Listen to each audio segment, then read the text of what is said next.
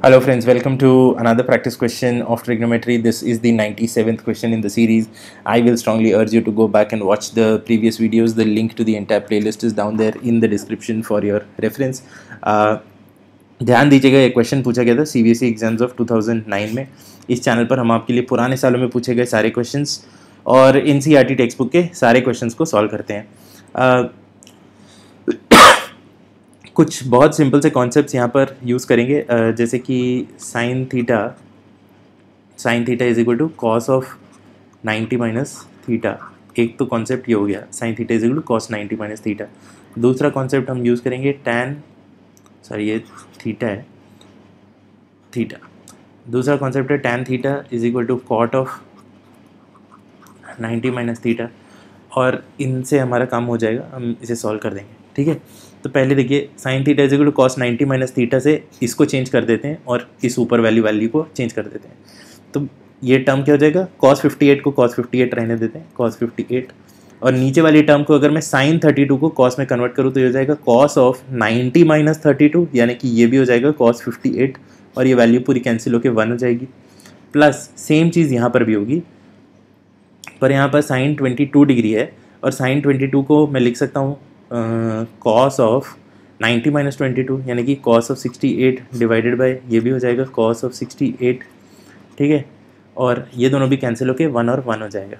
Minus अब ये है कॉस ऑफ़ 38 और ये है कोसैक ऑफ़ 52 तो देखिए कॉस 38 को मैं लिख सकता हूँ साइन ऑफ़ 90 माइनस थर्टी ठीक है?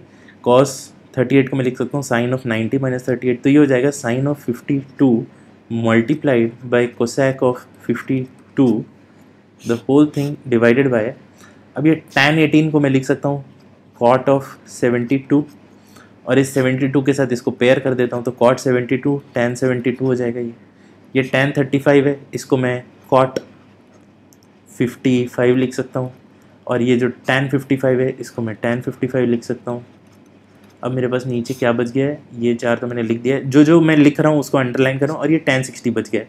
अब देखिए टेन सिक्सटी को मैंने किसी के साथ पेयर नहीं किया है। टेन सिक्सटी को मैं खुला लेके घूम रहा हूँ, क्योंकि टेन सिक्सटी की मुझे वैल्यू पता है। स्टैंडर्ड वैल्यू होती है टेन सिक्सटी की रूट थ्री अब देख लीजिए यहाँ क्या हो जाएगा।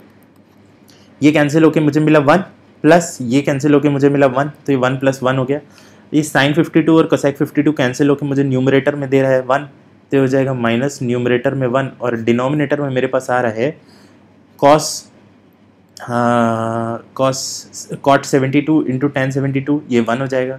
Cot fifty five tan fifty five ये वन हो जाएगा। मेरे पास बच रहा है टेन सिक्सटी टेन सिक्सटी होता है रूट थ्री तो ये आ रही है वैल्यू ये हो जाता है two minus one upon root three ठीक है? इसे अगर मैं रैशनलाइज करूँ तो ऊपर नीचे दोनों रूट थ्री से मल्टीप्लाई कर देता हूँ।